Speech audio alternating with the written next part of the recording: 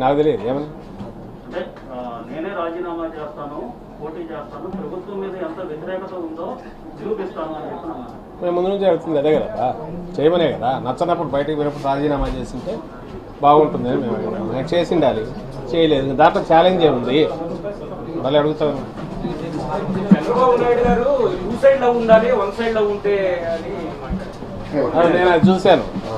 అంటే ఆయన ఎంత డెస్పరేట్గా ఉన్నాడు ఎంత దాన్ని ఏమంటాము